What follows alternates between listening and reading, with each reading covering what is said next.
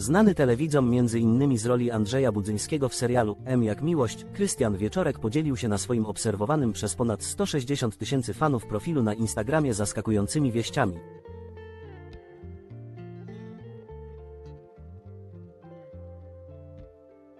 Przeszedłem małą operację plastyczną, ogłosił niespodziewanie Krystian Wieczorek w M jak miłość.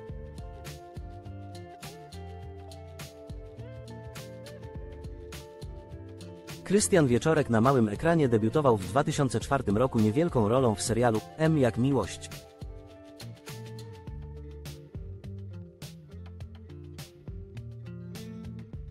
Wówczas najpewniej nie podejrzewał, że parę lat później dołączy do głównej obsady produkcji i będzie jedną z jej największych gwiazd.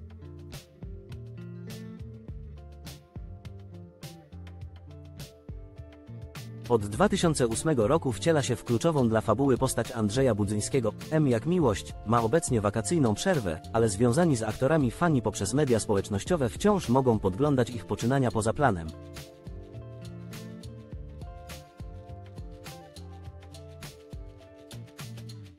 Wiele gwiazd serialu aktywnie udziela się na Instagramie, a Anna Mucha całkiem niedawno świętowała nawet przekroczenie progu miliona obserwujących.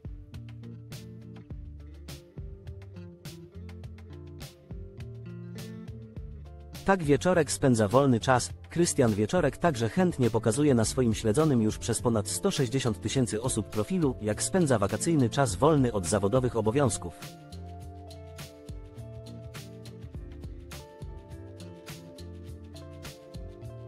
Parę dni temu chwalił się tam, że ze swoją żoną Marią, również występującą kiedyś w M jak miłość, wybrał się na kajaki.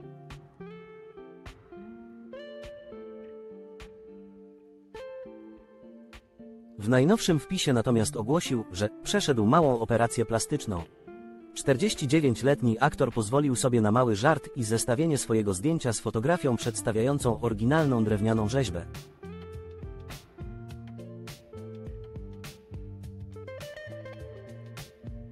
Przed i po operacji lepiej jest, zagadnął fanów.